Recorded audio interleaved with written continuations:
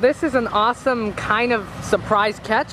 Uh, we got the Red Soo 45, uh, I forget, 59, and the CP rail back there.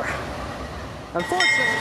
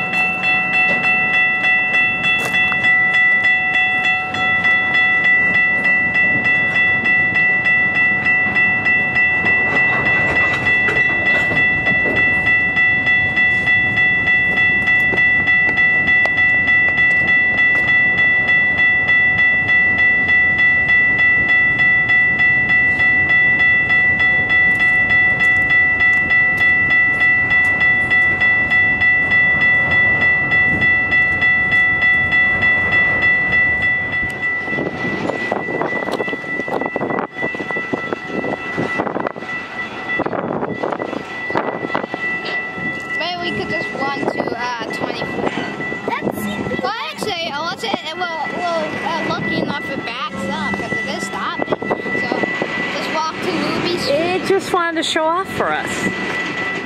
Yeah. Maybe if it does back up, I can actually get Think out. so soon. Uh, yeah, so this might be the last time seeing 4598 and the CP rail, which I forgot the number of.